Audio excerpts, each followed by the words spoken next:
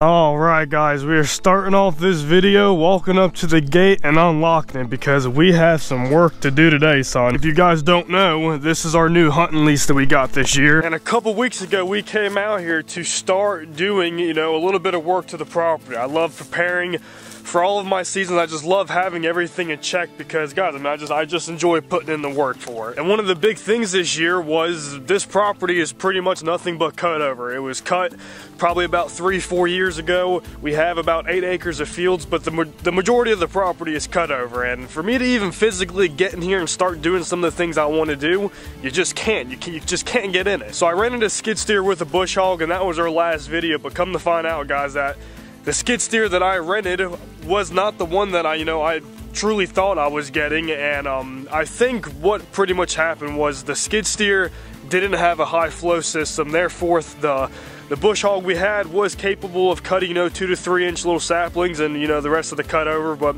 it just, it just didn't work out that good. We only got about two or three trails cut and we started on one of the bigger projects that I wanted to handle. But because it just, it wasn't doing the job, the, the machine was leaking hydraulic fluid, it just, it just was not a good day. You know, I just took a, took a step back, you know, regain plan what we can do and today my buddy is actually meeting me out here. Once again, it is a bush hog, but you guys hear me out, the machine is capable of running it.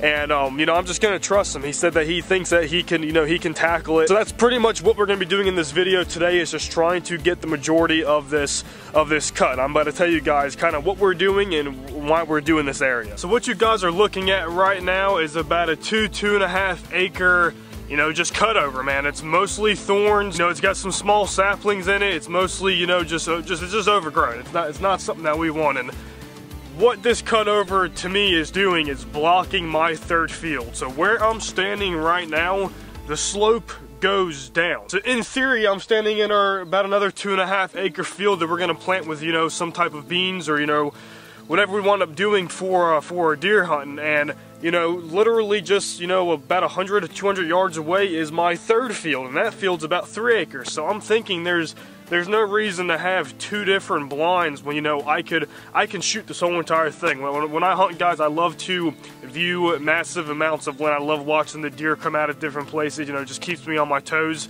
So pretty much this cutover is blocking my third field. And when I stand up here, you know, I'm about 6'2", I can almost, I can see the back of this field, but it's just the bottom that I can, and I just, guys, I want to get rid of this whole entire cutover. I want to open it up, once we do that, I'm gonna tell you guys kind of what we're gonna do, you know, replanting it. I wanna still border my two fields, but I don't want this here. It's too tall and I think I can do some type of, you know, cover crop and, you know, you guys will get the layout of what our plans are gonna be when this is cleared out. But in order to get this going, it's gotta get clear. So with that being said, let's wait for my buddy to get here. And guys, it's about to be about a six to seven hour day of clearing this out and we're just gonna do it little by little, start from the left, work our way to the right, and let's see how she looks today.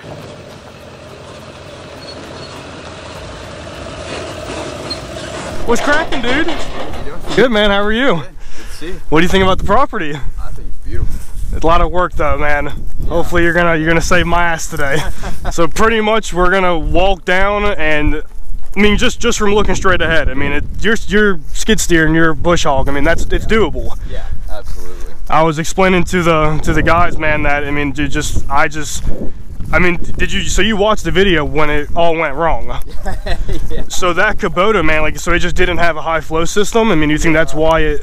Well, it was a Kubota. Okay. well, dude, I told you, I, I was supposed to pick up a Bobcat. It was, it was a nice one, and we, my buddy rolls up, and he, he didn't even call me. He's like, bro, Peter's gonna be pissed off, man, because this is not what he paid for. if we jump right here, you could see some of it's even open like that. Yeah. And then you have clumps like this where like, it really seems like the majority of the trees, it's, it's the more we work right, the, the less it's gonna be. Yeah. We're at right now, how much further over that way? No, nothing. Nothing. we might not even get, we might not even get this far, dude. I mean, I'd like to, cause like, I mean, that's, that's the corner. We did this barrier to know that like, by far this is the goal man. But i mean dude that's what i'm saying. If if, if you were to essentially go if you were to look straight up is that where you're i think where my truck yeah i think my, actually it's behind my truck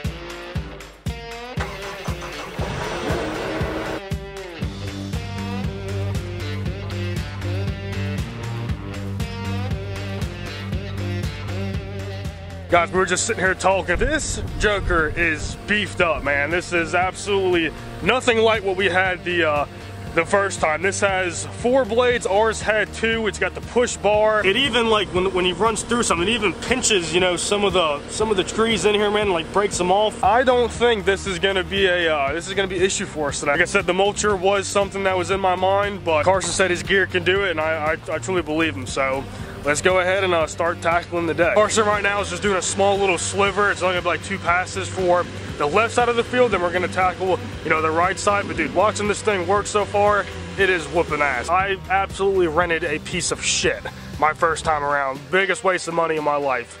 Uh, this is uh, this day's gonna be pretty pretty good. I'm excited to see you know what we accomplished. For once, I actually spent money and it wasn't a waste of time. So let's see what the day holds for us.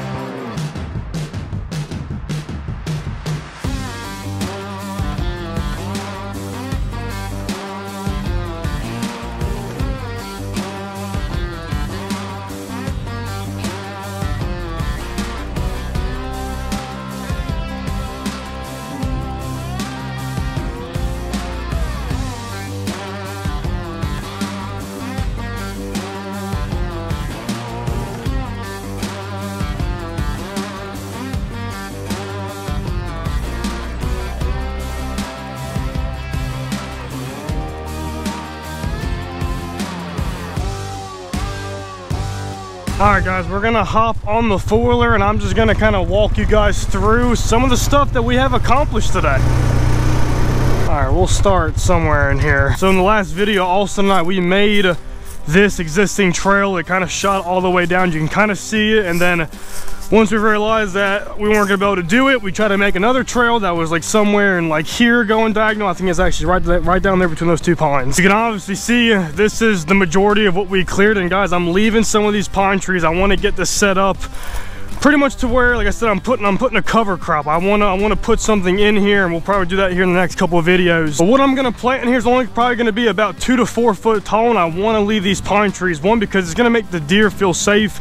It still has some cover. I'm not wanting to erase all of this. I mean i want to try to keep some of it. It's just this stuff is too tall and if we don't take care of it it's just it's just to keep on getting worse. These trees allow the deer to still kind of rub on them too. I mean guys we're to have cameras all through here and what we're actually to put right here in the middle it's to make sense guys yeah it looks good. I'm not really worried about these trees getting laid down. I mean, that was the difference between a mulcher. A mulcher would be chopping all this up, but Dude, I'm telling you that that brush hog is, is absolutely whooping ass. What we're gonna plant in here is gonna overgrow all this anyway, so it's really not that big of a deal, but on the drone, guys, it looks like we uh, we don't really have that much left, but it, this is about three acres of clearing. I mean, it's not, it's not a small chunk of land. Our only issue is that once we jump down here, it is, uh, it's a little bit marshy. The way this kind of lays out is everything's kind of going down slope and then it pops back up right before you hit our third field. So it's holding water down here. It's a lot swampier than what I thought, but guys, we're just gonna try to work around it. And it, and it seems like it's also getting thicker with the trees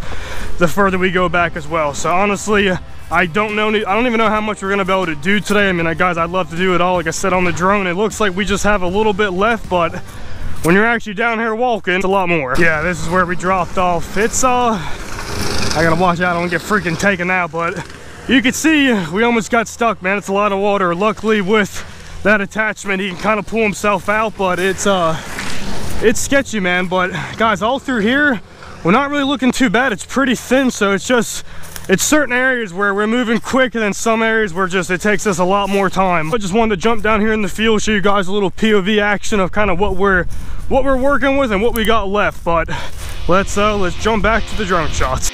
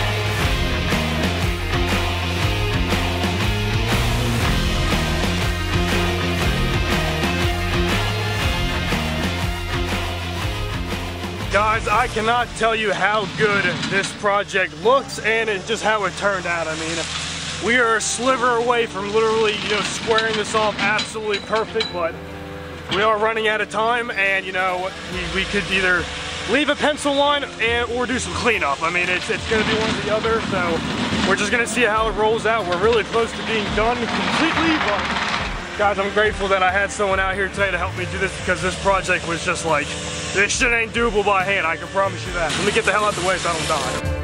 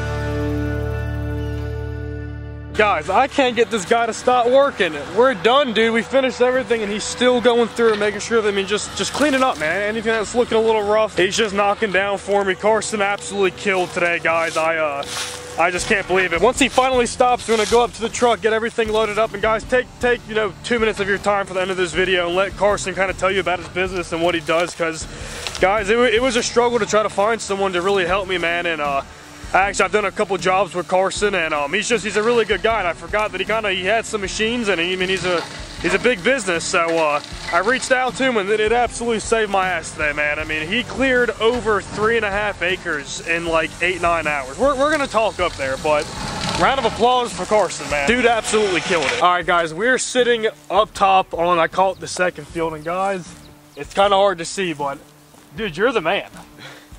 Looks good. It looks yeah. amazing. I yeah. just, I pretty much told him, I didn't calculate kind of what we did, you know, on the side. I really didn't even film too much of that, guys, but you cleared like three and a half acres yeah. in like eight and a half hours. yeah, nah, after we went through that spot, I was like, you know, thought it was going to be pretty quick. We got through some of that thicker stuff. Yeah. I thought it was going to take a while, but we were able to get through it. It uh, took a little bit longer towards the end of the day, but yeah, we, we got it done. It got it got down to that little sliver, and I'm just like, I let show him the drone. I'm like, dude, I don't care if we finish it. It's your call. And he said, what time is it? Gave him a time, and he freaking he shot through it. I mean, guys, I I literally this has been a. Uh, this has been a pain in the butt. I mean, I, like I said, I, I, spent a lot of money to absolutely fail. I mean, Austin and I literally accomplished nothing except two trails. Dude, yeah. thank you so much. Tell them your company. Yeah. Tell them they can absolutely. book you. Yeah. It's uh, American Property Maintenance Company. Check us out, uh, Instagram, Facebook, website, ncapmc.com. Facebook and Instagram's ncapmc. So check us out. Uh, drainage solutions, grading, clearing, you know, we we do just about anything. I say you so. kind of do it all, yeah, dude. Yeah. If you guys don't remember that, I'll link all that in the description down below. You literally click on the link and go right to his stuff show him some love, guys, because like I said, if it wasn't for Carson today, man, I mean, that I wouldn't have got this done, and it's, I would have had to figure out something else, and it, guys, like I said, I know you love to see me work, but I can't do that shit, okay? You may have had it done by deer season. Yeah, with an electric chainsaw, dude, doing it, doing it by hand, getting freaking tore up. Yeah. Once again, man, you killed it. Yeah, absolutely. I really appreciate you guys watching. Check them out, and um, stay tuned for the next video.